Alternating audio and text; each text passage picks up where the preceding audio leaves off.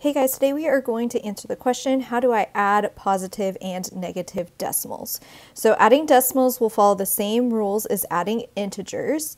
Remember, if numbers have the same signs, then we will add the absolute values and keep that sign. So if they're both positive, then we will keep it positive. If they're both negative, we'll keep it negative and just add. If the numbers have different signs, then we will subtract the absolute values and we will keep the sign with the larger absolute value. So that is what we do with these signs. Now let's specifically talk about adding decimals. First, we're going to write the decimals so that the decimal points line up vertically. And then we will add using the same rules as adding integers. So these rules up here. And then we will place the decimal point in the answer so that it lines up vertically with the decimal points in the problem. So basically we just need to line up the decimals and we will add using the same rules. So let's look at the first one. Both of these are positive, so my final answer will be positive. Now I'm going to line up these numbers vertically so that their decimal points line up. So they are both positive. I know I'm going to have a positive final answer and I just am going to add them together. So 23.85 plus 1.64. And now I'm just going to add these numbers together. So 5 plus 4 is 9. 8 plus 6 is 14. I'll carry the 1. 1 plus 3 plus 1 is 5 and then I bring down the 2. And then I put my decimal point, I just bring it down. So the final answer here is 25.49. Okay, let's look at number two. So this time I have different signs, so I'm going to subtract, and out of 7.12 and 9.92, this is the larger absolute value. So my final answer will be negative since the larger absolute value is negative, and since I have different signs, I'm going to subtract the absolute values. So I'm going to do 9.92 minus 7.12, and then the final answer I get, I will just make it negative. So 2 minus 2 is 0. 9 minus 1 is 8. I'll bring down that decimal. And 9 minus 7 is 2. And then I just make it negative since the larger absolute value is negative. So the final answer here is negative 2.8. Okay, let's look at number three. I have different signs and the larger absolute value would be this positive 8.37. So my final answer is going to be positive and I will subtract to get my answer since I have different signs. So I'm going to do 8.37 minus 5 and then I'll just put the 0.00 to help me keep my place values. So 7 minus 0 is 7, 3 minus 0 is 3, bring down the decimal point, and 8 minus 5 is 3. And I make this answer positive since the larger absolute value is positive. So the final answer is 3.37.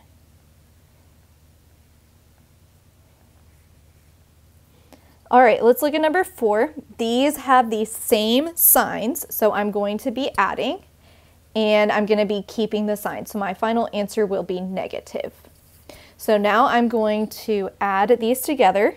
So 18.2 plus 10.8.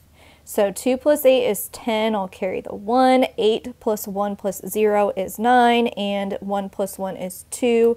And I'll keep or bring down the decimal point. And then I make it negative since these were negative numbers that I was adding. So the final answer is negative 29. Okay, number five, these are both positive, so I will just keep that positive sign and I'm going to add these together. So I'll do 45. I'm going to put 0.00 to help me with the place value, and then I'll add to 0.06. So 6 plus 0 is 6, 0 plus 0 is 0, bring down the decimal point, 5 plus 2 is 7, and bring down the 4. So, and this final answer was positive since both of the numbers were positive, so the final answer is 47.06. Okay, next one, negative 5.05 plus 0.88. So I have different signs here I'll need to subtract, and then the larger absolute value is 5.05. So I'm going to make my final answer negative. And now let's subtract 5.05 minus 0.88. Okay, looks like I'm gonna have some borrowing to do. Change this to a 4, make this a 10, change it to a 9, change that to a 15. Okay, and 15 minus 8 is 7. 9 minus 8 is 1, bring down the decimal, and 4 minus 0 is 4. And I make this answer negative since the larger absolute value is negative in the problem. So the final answer is negative 4.17. All right, let's look at number seven. Jim placed an online order for a new printer. The printer costs 129.95 and the shipping fee was 15.00. How much did Jim pay in total for his online order? So he'll pay for the printer cost and the shipping fee, so we just need to add these together. So 129.95 plus 15. 5 plus 0 is 5. 9 plus 0 is 9. Bring down the decimal point. 9 plus 5 is 14. We will carry the 1. 1 plus 2 is 3. 3 plus 1 is 4. And bring down the 1.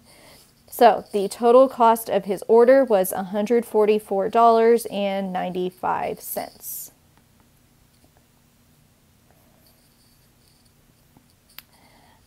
And last one, number eight, the top three US movies that made the most money in 2019 were Avengers Endgame for 858.37 million, The Lion King for 543.64 million, and Frozen 2 for 450.44 million. What was the total amount of money made for these three movies?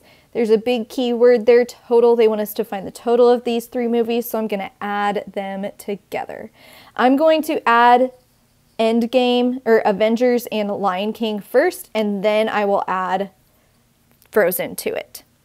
So let's do Avengers, which was 858.37 and then I will add the Lion King to it, which was 543.64. So 7 plus 4 is 11. I'll carry the 1. 6 plus 3 is 9 plus 1 is 10. I'll carry the 1. 1 plus 8 is 9. 9 plus 3 is 12. We'll carry the 1. 1 plus 5 is 6. Plus 4 is 10. We'll carry the 1. And then 13 plus 1 is 14. So there is the total for Avengers and Lion King. Now let's add Frozen to it. So I'm going to add 450.44. And 1 plus 4 is 5. 0 plus 4 is 4. Bring down the decimal. 2 plus 0 is 2. 0 plus 5 is 5. 4 plus 4 is 8. And then we'll bring down the 1. So the total for the three movies, remember this was in millions. So it's 1,852.45 million. Or if we want to write it in billions, we just move the decimal over three places. So you could also say it was 1.8525 billion.